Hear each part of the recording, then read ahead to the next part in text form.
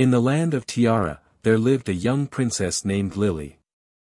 Her father, the king, was not just any ordinary king. He was the protector of the kingdom and most importantly, the protector of Lily. Every day, the king would remind Lily of her inner strength and courage. You are my brave little princess, he would say, you can achieve anything you set your mind to. One day, a mischievous dragon entered the kingdom and caused chaos.